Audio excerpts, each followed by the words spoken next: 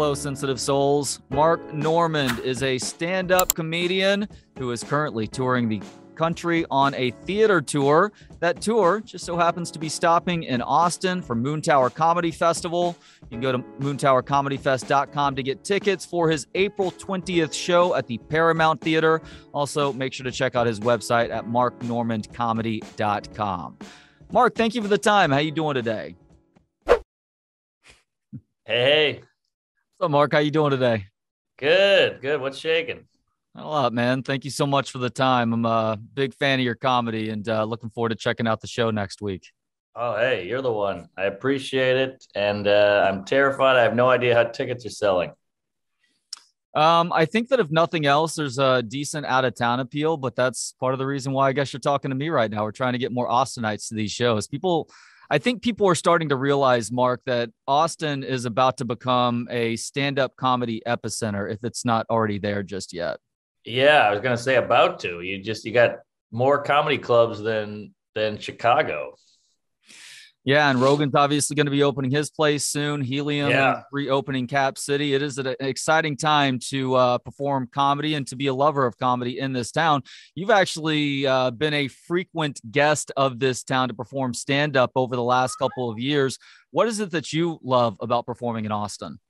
Well, uh, Austin's great because you get the uh, the young, full of life vibe, and also nobody's uh, upset at you vibe. You know, like you get the the young, smart crowds who also don't get offended.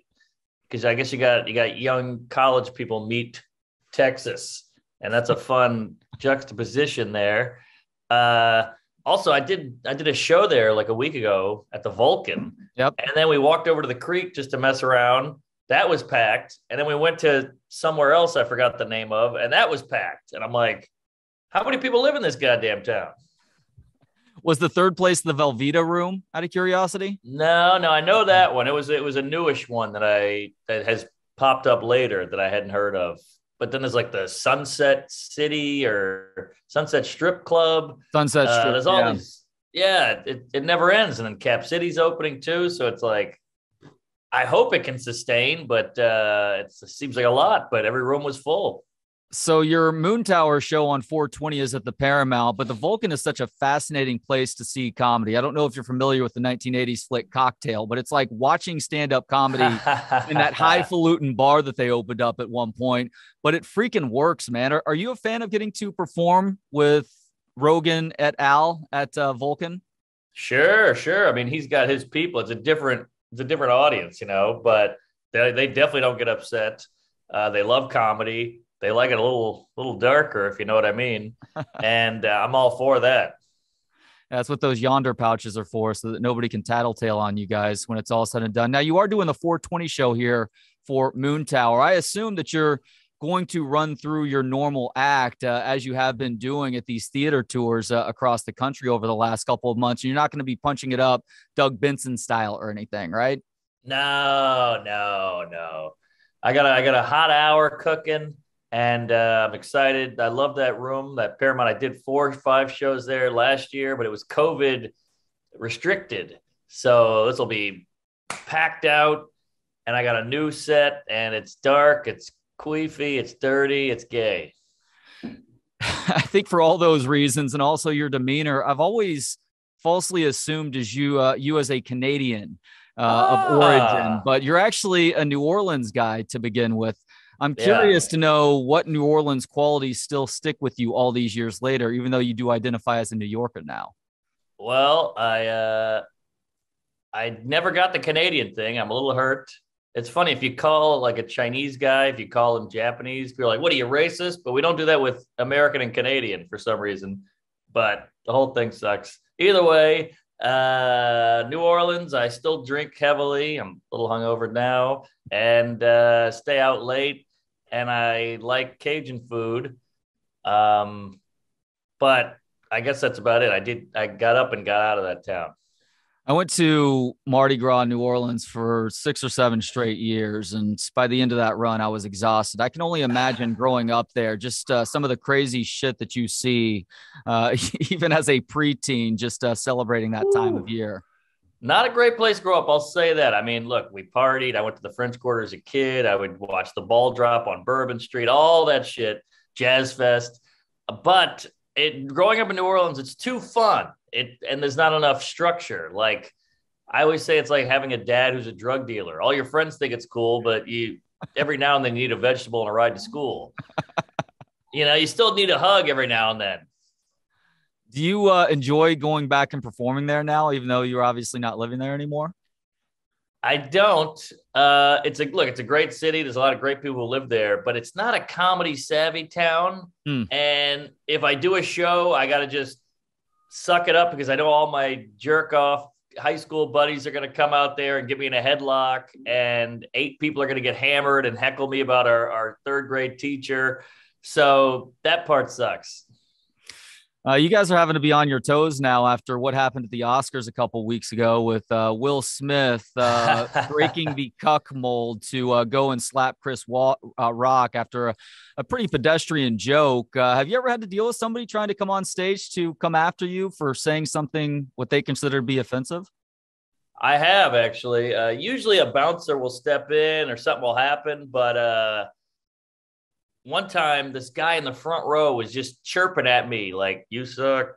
Kill yourself. Quit comedy. What made you think you could do this? And no one else could hear it but he was in the front row just saying it up at me just quietly. And it was like needling at my brain like ah this guy's getting to me. And then eventually i just snapped and went off on the guy. And all the rest of the crowd turned on me he's like well where'd that come from? Because they couldn't hear him. Right. So i was just drilling into this guy. I lost. I saw red and uh, he he eventually started coming up onto the stage. And before he could get all the way up, I kicked him like in the stomach, and that that pushed him back a little bit. And then they grabbed him. Well, you kicked the guy in the stomach. I don't know if I'd have the wherewithal to go for a straight kick to the stomach, Rogan style. Well, I had a little elevation because you have to step up to the stage, so I knew I had a I had a down kick on him. Plus, I didn't want to I didn't want him to get too close, so I felt like a kick would keep him further away. Yeah, just in you case punch. he had just in case he had the longer wingspan than you, right? Yes, exactly, exactly. So I felt like a nice side kick could really keep him at bay. Did you get into a bunch of fights as a kid in New Orleans, or did you stay away from those? Well, I went to public school. I grew up in a predominantly black neighborhood, so uh, I wouldn't say I got into a bunch of fights, but I got beat up a lot. One-sided affairs. Huh? One, yeah. one-sided affairs, huh? Exactly. Okay. I won right. one. How'd you win that one? Did you catch him I off guard? Yeah, I guess so. I kind of sucker kicked him. I'm a kicker.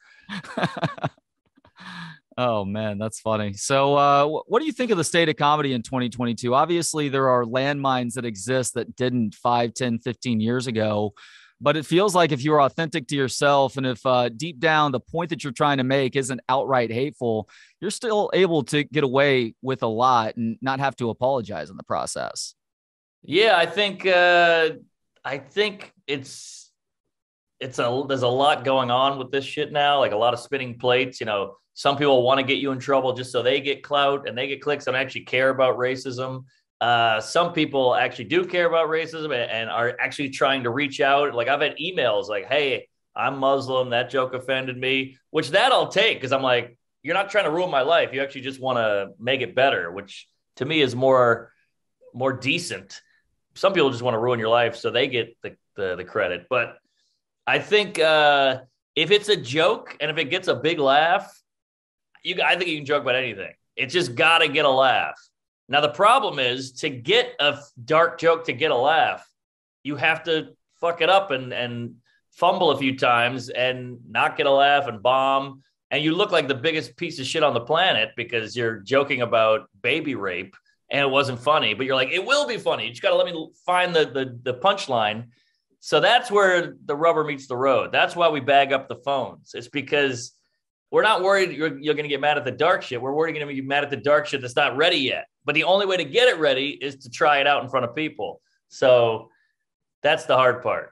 What's your response when somebody does reach out to you individually to say, "Hey, hey, this hurt me"? Has that forced you to reconsider the way that you're framing a joke, or even talking about something altogether?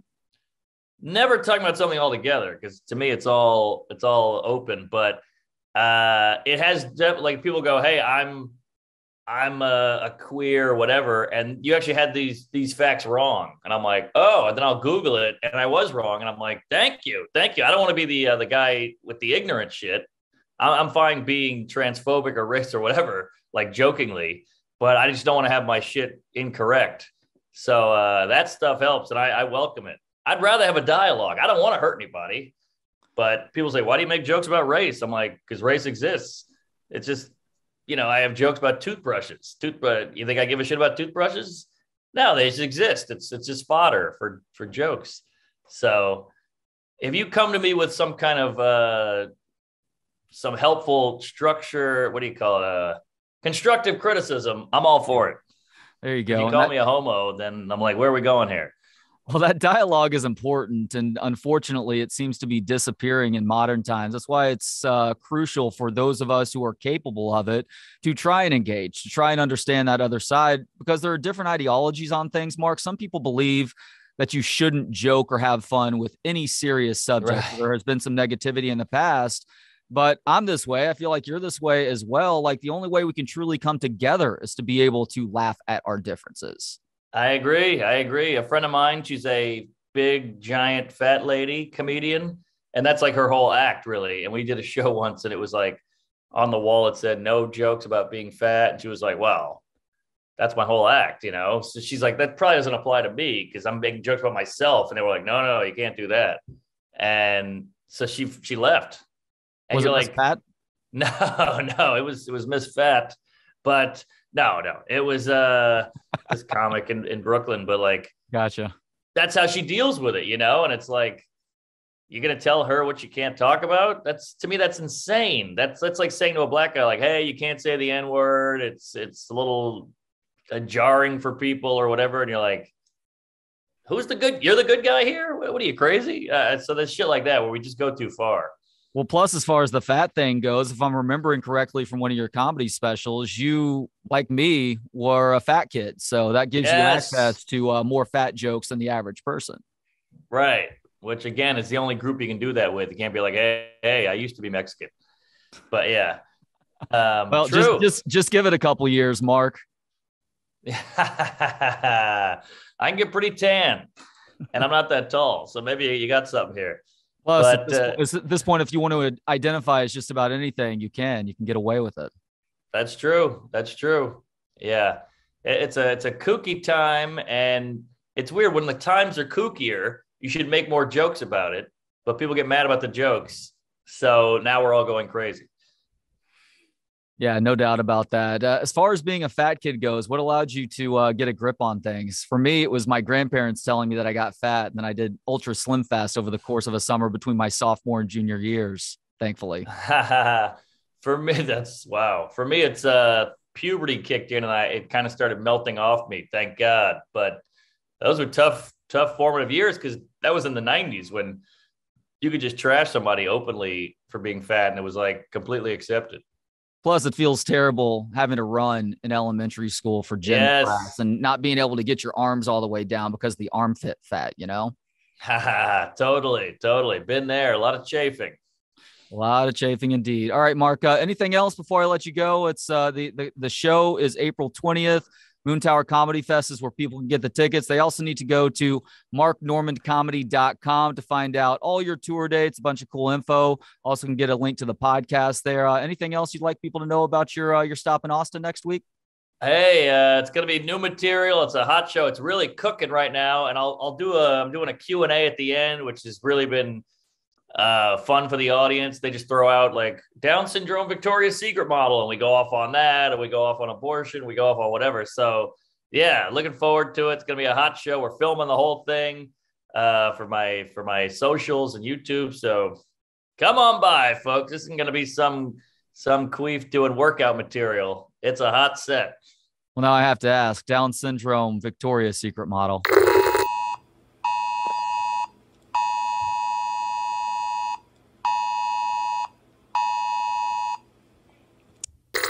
Put you in jail. Now it's like inclusive. That's right. We're times. we're changing the term for pedophile now. It's got to be something that's much more politically correct. Right, right. I think the term is uh spacey. All right, that's an old reference. Uh, said Mar- Epstein. Mark, thank, you, thank you so much for the time today, man. Thank you, sir. Have a good one. Thanks to Gentleman Jesus for the intro and outro music.